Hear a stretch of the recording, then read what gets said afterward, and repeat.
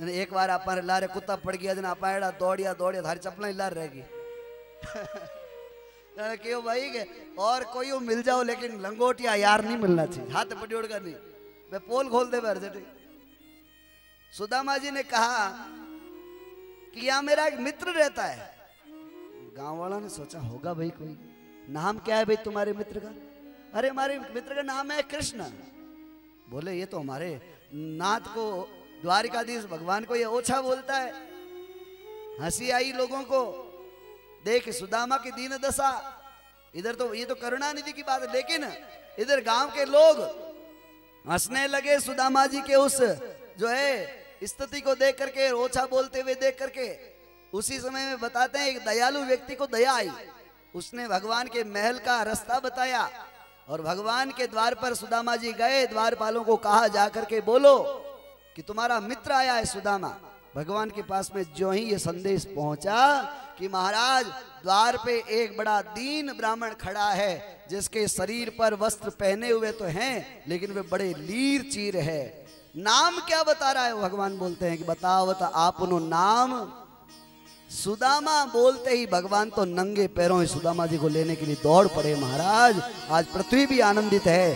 पृथ्वीनाथ भगवान, दीनानाथ मित्र से गले मिलने के लिए जाते हैं। बड़े आदर के साथ में लेकर के भगवान आते हैं। स्वयं के सिंहासन पर विराजमान करते हैं। रुक्मणी को बोलते हैं, जाओ, आज मेरे मित्र के चरण प्रक्षालन कर लें, इसलिए जारी परात लेकर के आओ। लेकिन वो जारी परात कब लेकर के आए, इतने में सुदामा जी ने क्या कर दिया पता आपको? वह भगवान ने क्या किया है? सुदामा जी के दीन दशा को देख करके करुणानिधि करुणानिधि, रोए, भगवान के नेत्रों से प्रेम भरे, आँसू बरसे हैं, दुख भरे भी आँसू बरसे बोले, सुदामा, मुझे याद क्यों नहीं किया? जो चरण जल से धोने थे, वो चरण भगवान ने अपने अश्रु धाराओं से सुदामा जी के धो दिए। पुष्पों की बरसात करी मानो देवताओं ने। भक्त वत्सल भगवान की बड़ी प्रेम भरी आपस में चर्चा होती है। बोले, मित्र, तुम्हें याद है वो बचपन की बातें? हमारे गुरु माता ने चने दिए थे, अरणिया लाने के लिए वन में हम चले थे। बारिश आ गई, तुम भी एक वृक्ष पर चढ़ गए, हम भी पास ही के एक वृक्ष पर चढ़ गए। सर्दी भी बहुत थी, सर्दी में भूख कुछ ज़्यादा ही लगती है, पता है ना आपको? तो उस समय मुझे भूख लगी आई तो मैंने बोला, सुदामा, वो चने कहाँ हैं? तो तूने बोला, वो चने तो रस्ते में कहीं पड़ गए। तो मैंने बोला, ये तेरे दांत का से बोल रहे तूने कहा, ये दांत बोल रहे हैं, सर्दी से किटकिटा रहे हैं। तो मेरे बंट के जो चने थे ना, मेरे हिस्से के, वो तू खा गया। उस दिन कार, उसी कारण से स्त्री क्षय हो गया। क्या हो गया? तू दरिद्र हो गया। लेकिन आज सुदामा, तुम हमारी शरण में आए हो। अब कोई दरिद्रता में नहीं रहोगे। भगवान श्री कृष्ण सुदामा जी से ऐसी बातें करते हैं, उनको बड़े आदर से प्रसाद कराते हैं और उसके बाद में भगवान बोलते हैं, सुदामा, तुम आए हो ना तो मेरी भाभी ने कुछ न कुछ मेरे लिए ज़रूर भेजा होगा। भेजने की बात कही, सुदामा जी ने अपनी काक दबानी चालू करी कि पोल में खुल जाएगी इतना बड़ा महल माड़िया इसके। और मेरे इन चिवड़ों से क्या होगा? चिवड़े माने पोया। जो घटिया क्वालिटी के चावल होते हैं ना, उनका पोया बनता है। तो ये चिवड़े थे, चावल बहुत वो क्वालिटी कैसी हो? लेकिन भगवान के भोग लगाने के बाद में कैसी हो जाती है? बहुत अच्छी हो जाती है। तो जो ही वो भगवान ने वो पोटली काक में से निकाली, फटा तो था ही वो धोती का कपड़ा। वो तीर चीर हो रखा था, कुछ तो ज़मीन पर गिर गए। भगवान ने एक मुट्ठी भर करके अरोगी, दूसरी मुट्ठी भी अरोगी, तीसरी मुट्ठी अरोगने लगे। रुकमणी जी ने हाथ पकड़ा, बोले, महाराज, क्या कर रहे हो? दो लोग तो दे दी अब क्या बाकी रहा है? क्या करोगे? कहा जाओगे? भगवान ने कहा, मद भक्ता यत्र गायंती, तत्र तिष्ठामी नारद, मैं कहा रहता हूँ? मैं संत महात्माओं के हृदय में, भक्तों के हृदय में वास कर लूँगा। मुझे रहने की जगह वो बहुत अच्छी लगती है। देवी, भक्तों का हृदय मेरे लिए अच्छा है। भगवान ने जो श्री क्षय थे सुदामा, उनके ललाट पर रेखाओं को बदल दिया और क्या कर दिया? यक्षश्री बना दिया। क्या बना दिया?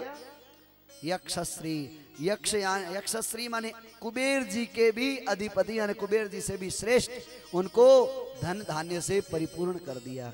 अब बोलो थोड़ी सी विनोद पे आ जाए।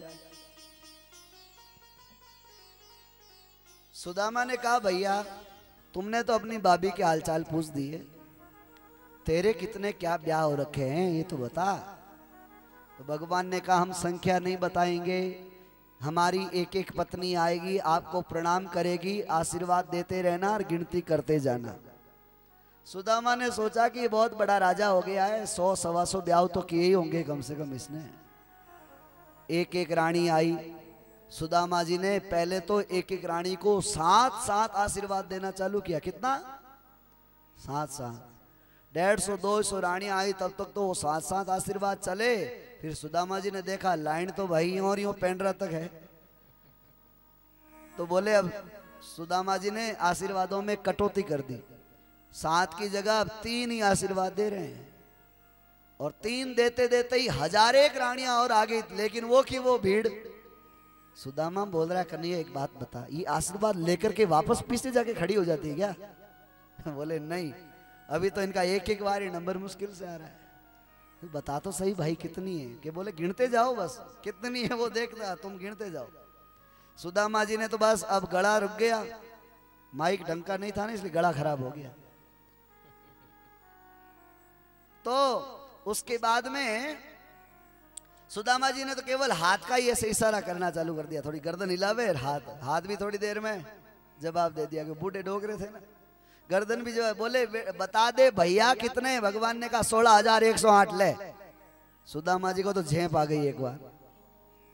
ज्यो त्यों करके जड़ छिड़क करके उनको, भगवान के, अरे सुदामा जी ने कहा मेरे तो एक है जो भी जीना हराम कर रखा है। तो सोलह हज़ार एक सौ आठ को संभालता कैसे है रेल लटकट? तेरी लीला बड़ी विचित्र है।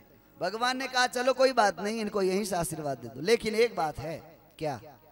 सभी रानियों को आशीर्वाद जो यहाँ रहती है ना, जहाँ इनका निवास है, वहाँ चल करके इनको आशीर्वाद दो। ऐसा ही सब चाहती है कि हमारे ही जहाँ रहती है, वहाँ पर हमारे भक्त का, सुदामा जी का पग मनना हो।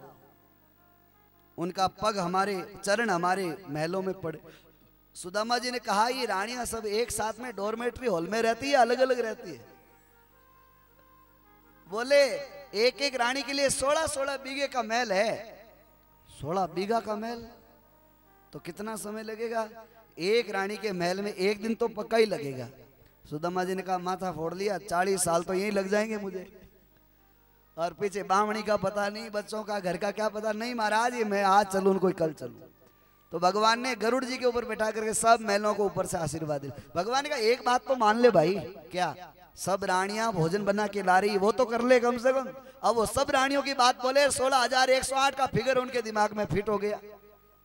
बोले, महाराज, क्षमा करो, इतना जिमूँगा तो मैं ब्राह्मण मर जाऊँगा। तब सब रानियों के प्रसाद बनाए, उसमें से कण कण लिया और सुदामा जी को भोग लगाया। चार पाँच दिन तक सुदामा जी वहाँ रहे, लेकिन ब्राह्मण को आप भले ही जिमाओ, बहुत सामान्य सा। लेकिन दांत घसाई ढंग की दे दिया करो। जिमाने में तो भले आप फलका और दाढ़ी जिमा दो दांत घसाई में कंजूसी मत करो।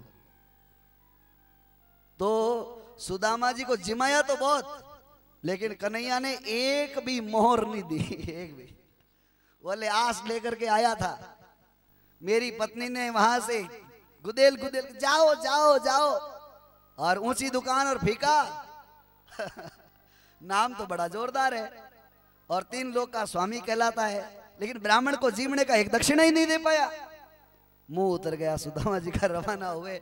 भगवान छोड़ने के लिए और आगे जाते, चलो सुदामा, मैं तुम्हें पहुँचा दू। फॉर्मेलिटी मत कर भाई, यहीं बैठा रहे, क्यों? भेड़ तो एक रुपये दिया नहीं तूने।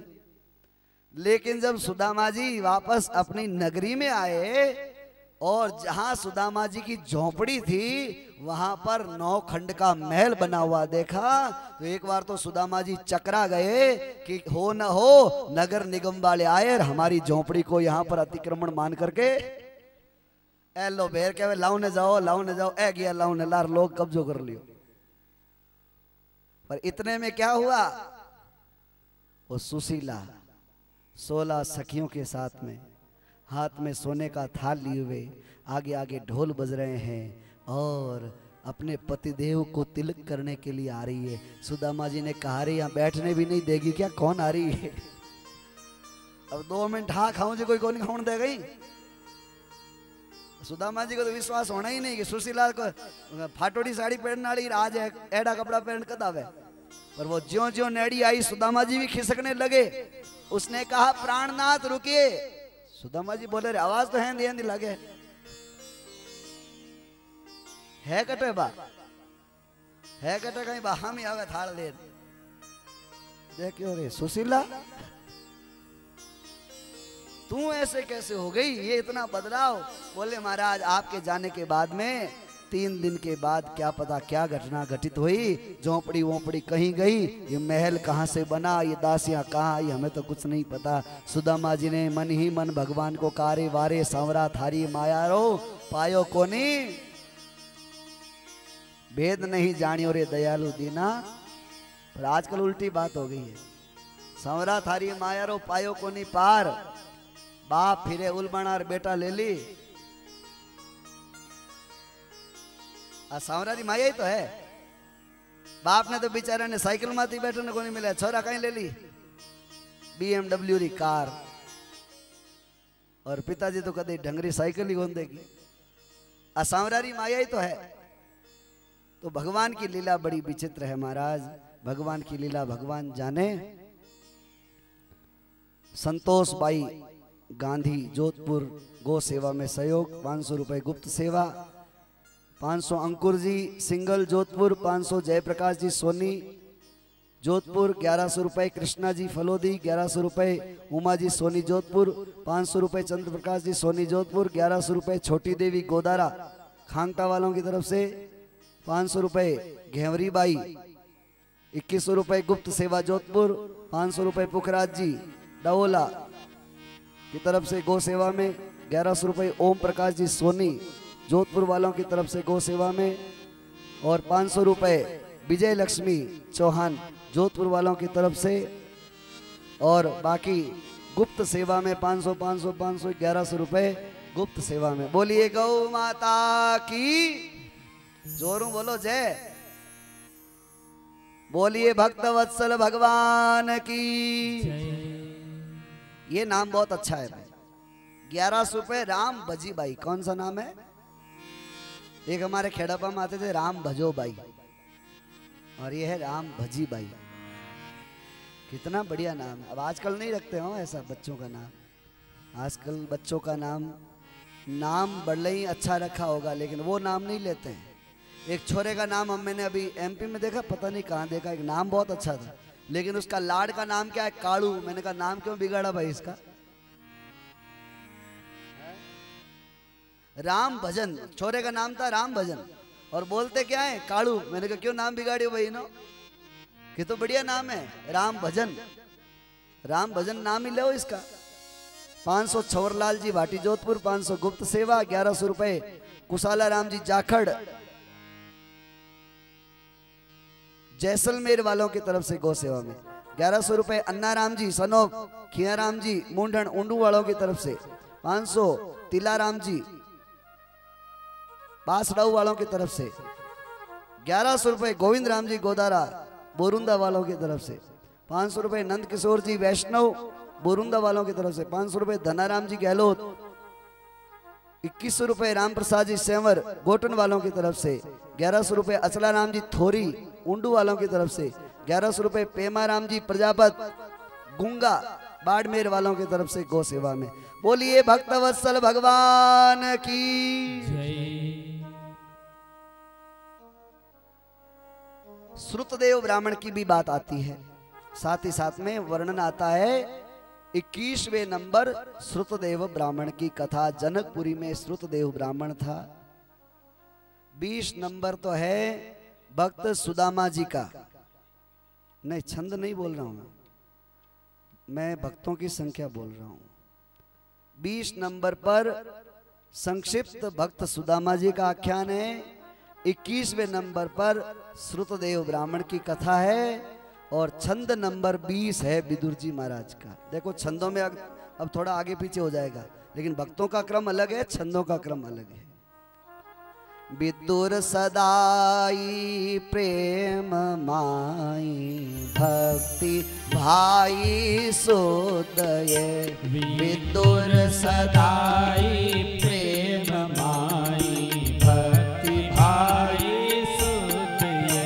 छिलका खवाई वालो गाई प्रसन्नताई तदय।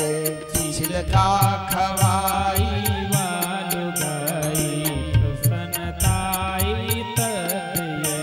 राजा भुजाई तजी साई यान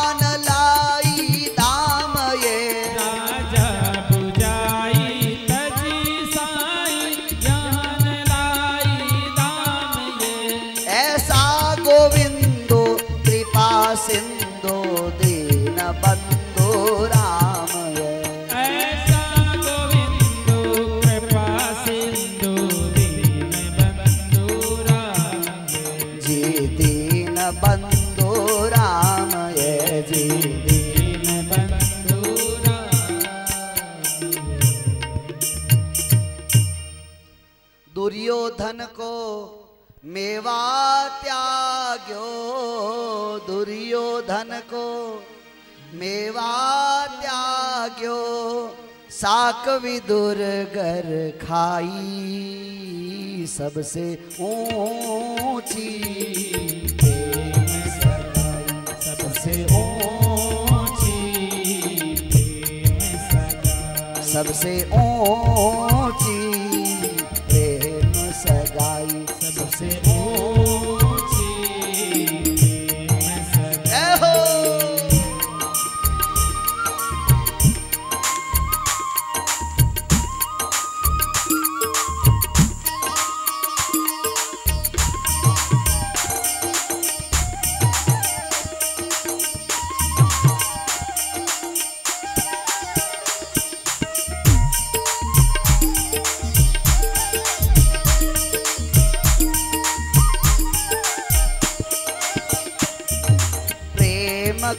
नृप सेवा कीनी।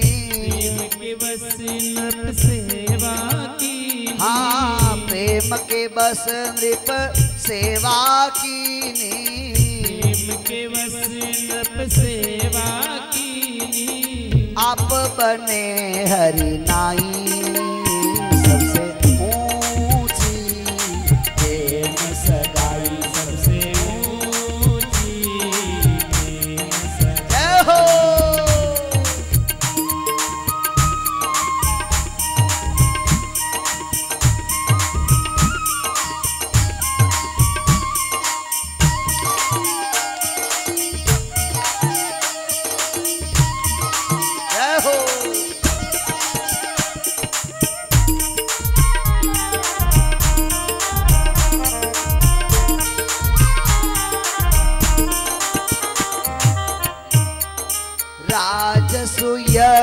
युधिष्ठिर की नौ राजसुयज्ञ युधिष्ठिर की राजसु यज्ञ युधिष्ठिर की नौ राजसुयज्ञ युधिष्ठिर की नामे झूठ उठाई सबसे ऊँची प्रेम सगाई।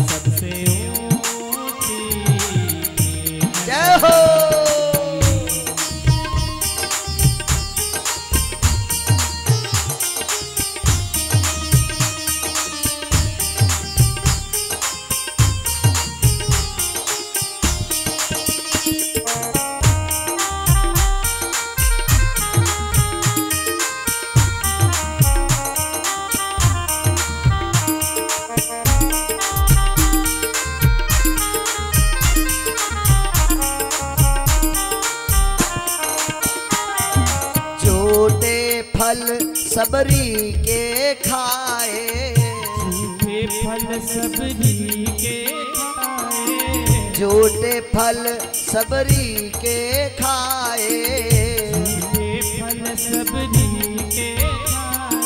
प्रेम भी बस रघुराई।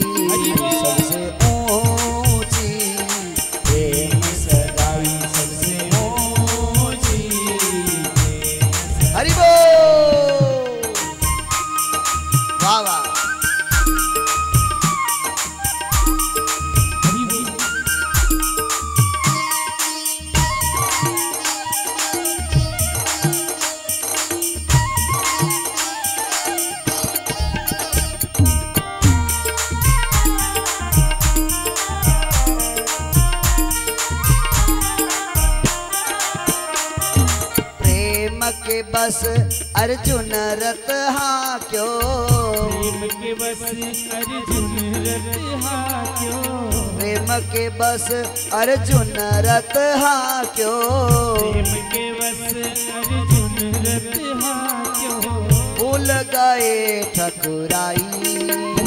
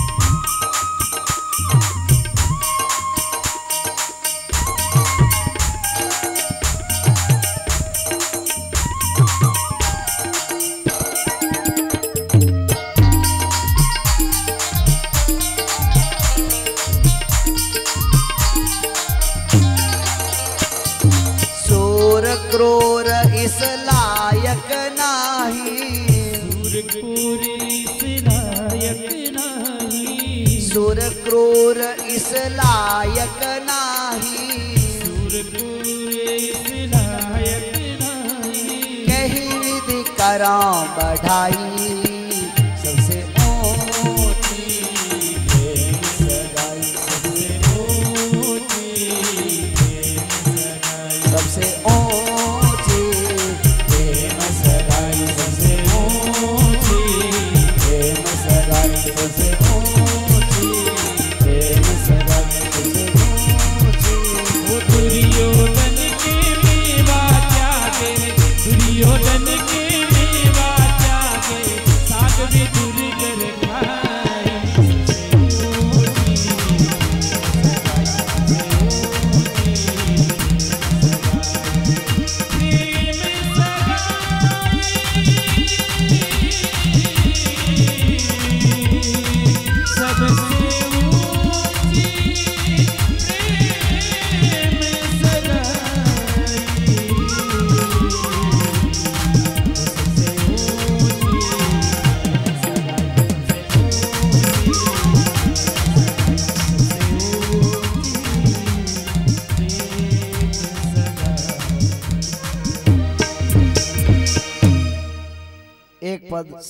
केशवदास जी गाएँगे।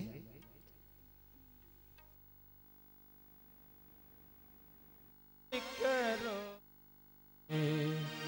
उद्धार करो भगवान तुम्हारी शरण पड़े। भव पार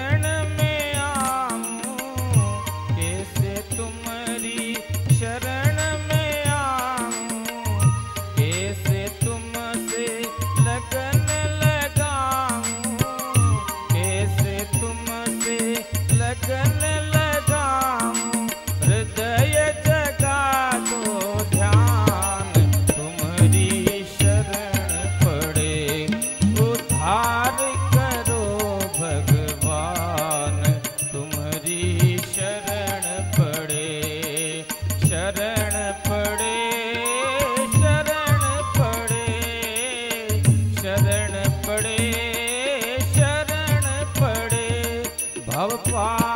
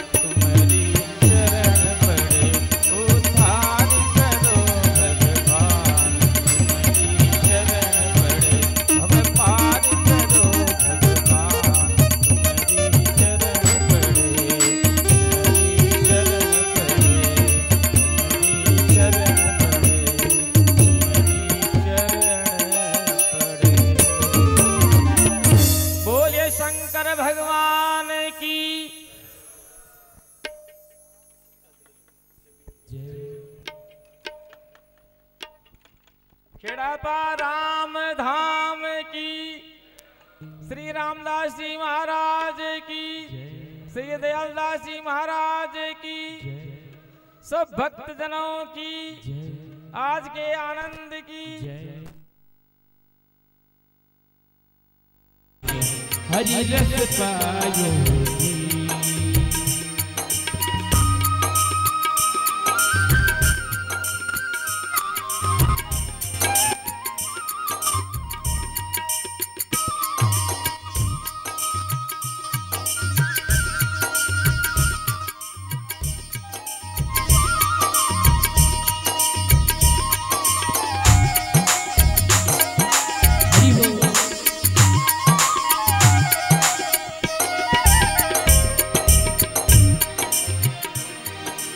अड़सठ तीरथ मारे गुरु सारे चरना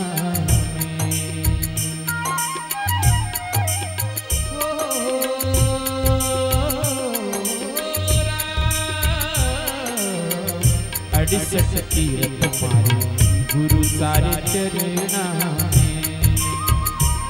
तो गीता ज़ीरो ज्ञान, गंगा नायोरा मैं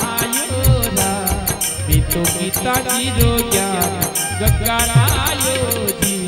सतगुरु जी माने, प्रेम प्यालो पायो सा जित गुरु सा माने, हरि रस पायो जी।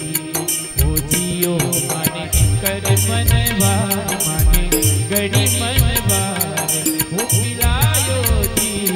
सतगुरु सा माने।